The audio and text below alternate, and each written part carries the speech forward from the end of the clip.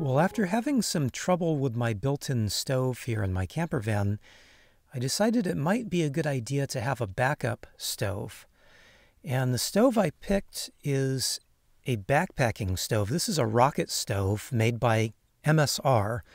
And if you're a backpacker, you're probably really familiar with this stove, or at least this style of stove. And I just want to talk about why I chose this stove and also how I am not going to be using this isobutane. I'm actually going to be using propane with this rocket stove. So the obvious question here is why would I pick a rocket stove, a backpacking stove, to use as a backup stove for my van? Well, first of all, I've got some space issues, a little tight on storage space. So I looked at cassette stoves, I looked at other types of propane stoves, and I just like that this was a tiny little stove, a tiny but powerful little stove that folds down into basically a tiny little space. Now, that space saving is a key for me because uh, since I'm tight on space and since I don't need to use a second stove all the time. I just need a backup stove to use in case my regular stove fails or in case I need a stove uh, that I am going to go out hiking and, and be able to use. I like the stove too. After using it a few times, I found it is incredibly powerful. Uh, in fact, this stove has more power, more BTU than my built in stove that I have here in the van, which is really kind of annoying in, in one sense because this is a backup. My built-in stove I use several times a day. Uh, some of the great features on this stove is that yes, it is incredibly powerful. Uh, two, it folds down into a very small size, so I can tuck it away someplace. Uh, and three, uh, it is really well made. In fact, it's probably much better made than my built in stove. So those are all really great things. Uh, it's got a lot of great features. The one bad feature with the stove, though, is it can be quite tippy. Uh, if you've got a heavy pot uh, sitting on top of the stove, the stove does tend to want to tip over. Now, MSR and some other companies sell an extra little uh, stabilizer that can fold out and fits on the bottom of this fuel canister. And I decided not to buy that. One, spending enough money on buying stoves. And two, uh, it really kind of irked me that they don't include that with the stove. As far as I'm concerned, the stove is highly unsafe to use without some kind of support. Uh, that I, I think you'd be crazy to use it without some kind of support. Now, granted, this is primarily a backpackers or hiking stove. And so I would think that if you're out backpacking or hiking, you'd probably find some rocks or something and you can prop it up to keep it stable and upright. So maybe that's what MSR is thinking when they sell these and they want you to buy the little stabilizer separately. I don't know.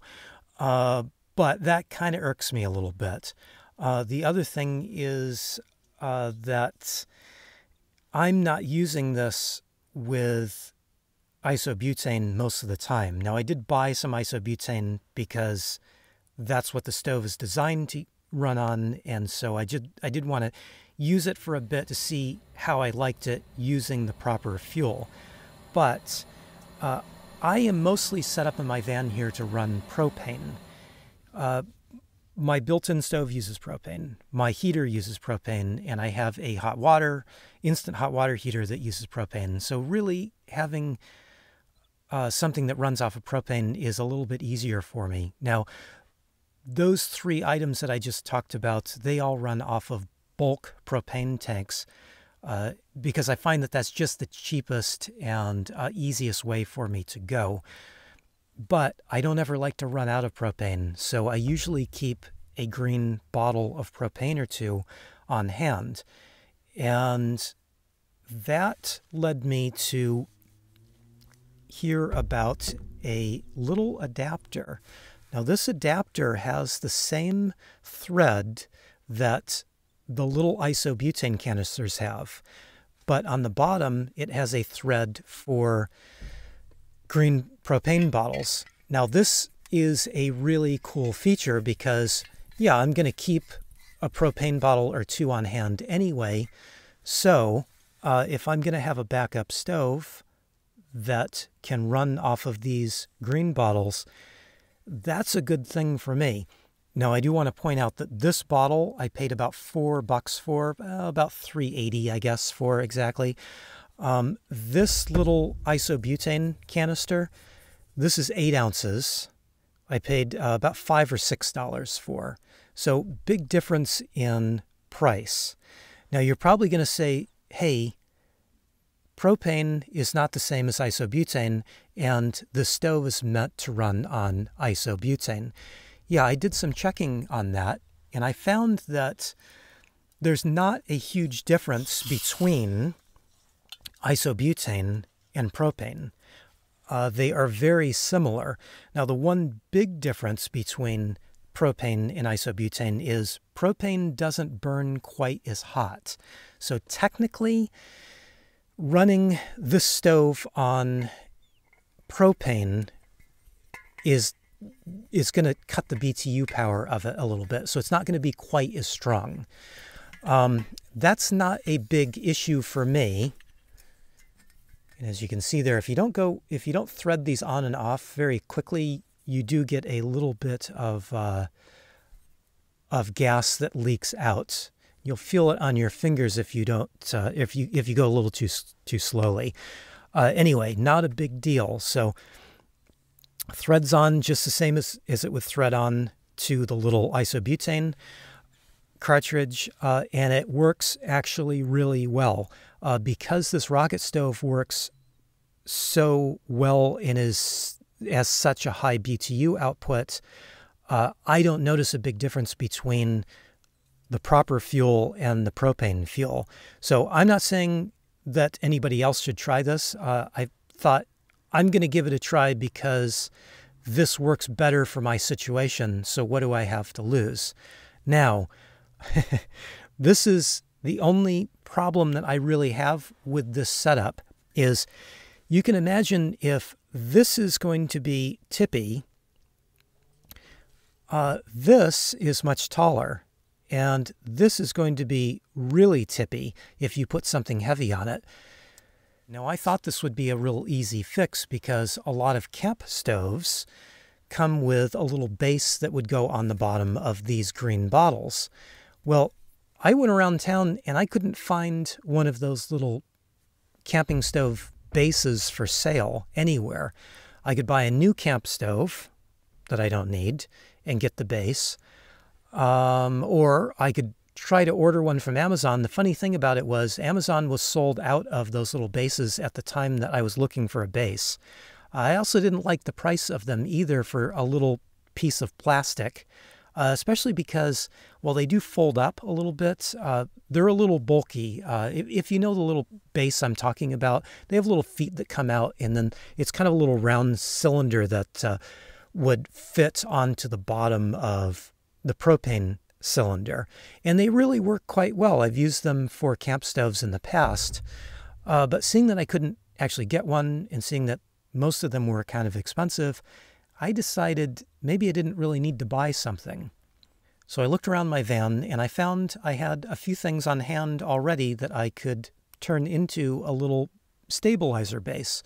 So I had a piece of plywood. This is it. I cut it in half, as you see there. I added a couple of hinges and then I had some shock cord, which I just uh, drilled a couple of holes in through the plywood, tied them off, and made a little loop here. So my idea here was to just take the propane tube and slide it into the shock cord, which keeps it nice and stable and then the base will keep it fairly stable.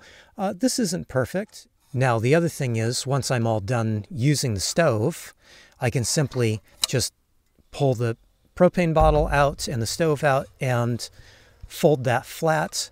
This shoves into a little small pocket in my door and doesn't interfere uh, at all in my space problem here in the van. So I may look into buying a proper little mount for it or making a better mount. I had a few ideas about how to make one, but uh, this just happened to be stuff I had sitting around, so this is what I made.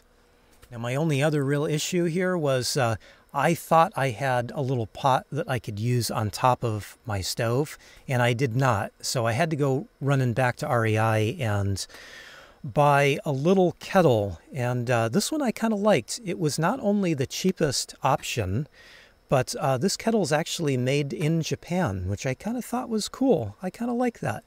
Uh, it has a little, a little spout in front, and um, has a little handle in back that folds away.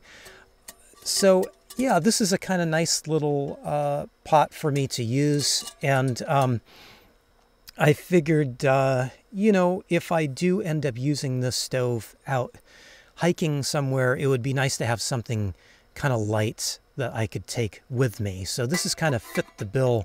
And uh, I really like this little this little pot. Although I'm not really sure why they put the handle out the back. It seems like it would be easier to pour with if the handle is on the side. But uh, anyway, um, yeah, I like it. And just in case I wanted to take all this hiking with me, I found a little bag at IKEA. This happens to be a waterproof bag. Uh, not sure that's terribly needed, but I did like the size of this and um, that it's a nice little durable bag.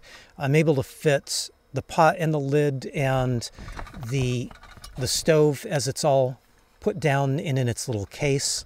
Uh, and then just in case, I've got a lighter as well.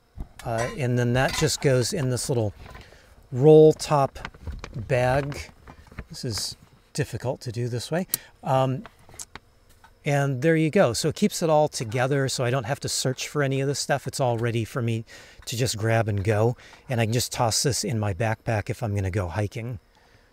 Now, this may not be the perfect stove for everybody, but I think it's going to work out really well for me.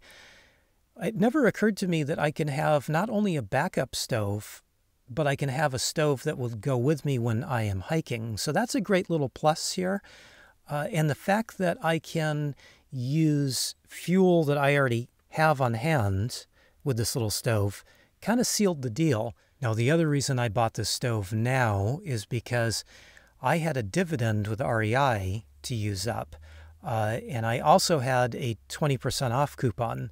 So it actually worked out that uh, the stove, the fuel, and the little uh, propane adapter ended up being uh, $44 out of pocket. So it ended up being quite a good deal for me.